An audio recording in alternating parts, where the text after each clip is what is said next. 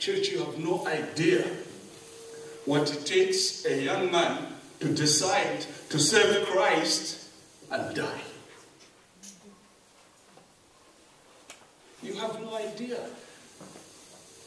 It is a weight to call upon Christ and declare that you will serve him until you die. And serve him barely a year and die.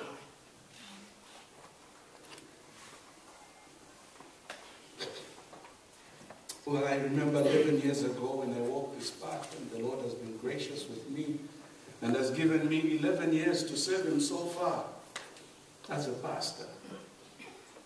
He has never known what it means to be a pastor, yet his heart longed to be a pastor. And he dies not having served the Lord as a pastor. And I repeat my words, you have no idea. And church this afternoon, Banza lies in that coffin and he says these words to us. And he says this sentence to us, Yea, that a man now serve him.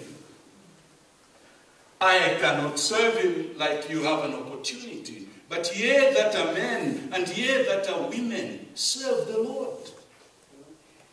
You know, one thing that is very interesting before we go to the book of Job is as you walk through the streets of Riverside, particularly, and you see men and women, mothers and ladies and girls and boys, and they laugh at these young men as they trail daily to the college to study God's word and how to explain it to the world. And they laugh at them as young people and they say, look at those young pastors. In fact, it's because they have no careers to pursue.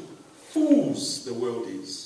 Church, we have no idea what this young man had plunged his life into in serving Christ.